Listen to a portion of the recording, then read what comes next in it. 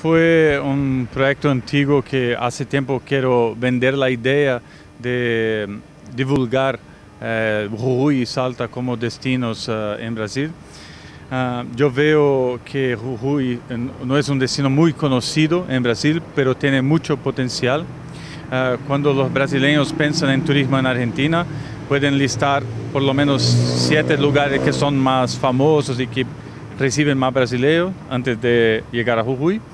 Pero en verdad que estamos aquí muy cerca, estamos en la misma latitud que la ciudad de São Paulo, en Jujuy. Y creo que aquí uh, es un destino que no está muy conocido, pero uh, por pura falta de promoción. Entonces, la intención de nuestra publicación es uh, divulgar los destinos y servicios que hay en la provincia de Jujuy. ¿Qué es de lo que viste tu interés que pueda también interesarle al que vive en la ciudad de San Pablo? Bueno, uh, he visitado cantidad uh, de destinos lindos como Purmamarca, Otilcara uh, y Humahuaca también, pero veo que estas, las ciudades están muy bien equipadas con hoteles de alto nivel y también restaurantes.